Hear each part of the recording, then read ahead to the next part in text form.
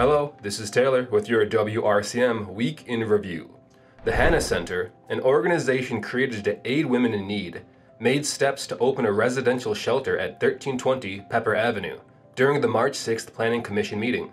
City leaders voted unanimously on the project, seeing it as a needed service in the Wisconsin Rapids area.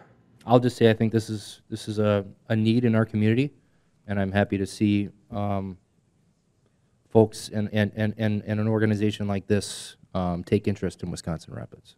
The City of Wisconsin Rapids is seeking public input from local residents about their bicycling experiences within the city.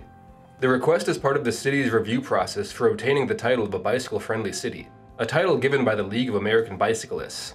To take the online survey, visit the city website or Facebook page.